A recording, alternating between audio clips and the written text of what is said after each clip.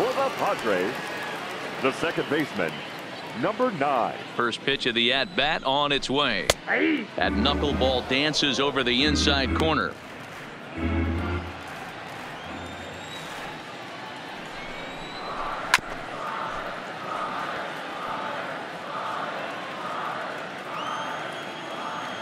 Here comes the nothing in two pitch.